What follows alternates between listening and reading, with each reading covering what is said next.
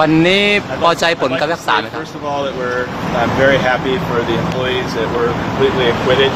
in this case. However, we strongly but respectfully disagree with this decision, and we will promptly appeal. อันดับแรกนะคะก็คุณจรีบอกว่าเรามีความยินดีนะคะที่วันนี้เอ่อพนักงานนะคะทั้งเจ็ดคนได้ถูกยกฟ้องนะคะแต่ว่าในส่วนของคำตัดสินเกี่ยวกับบริษัทเนี่ยแม้ว่าเราจะเคารพคำตัดสินแต่เราก็จะ it's not just the company that disagrees with this decision. ค่ะก็ไม่ใช่เฉพาะเรานะคะที่ไม่เห็นด้วยกับคำตัดสินนะคะ It is in direct conflict with a decade of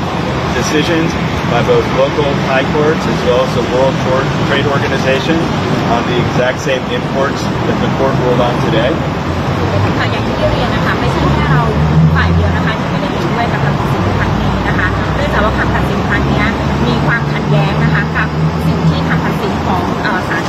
ไทยแล้วก็ WTO นะคะเคยได้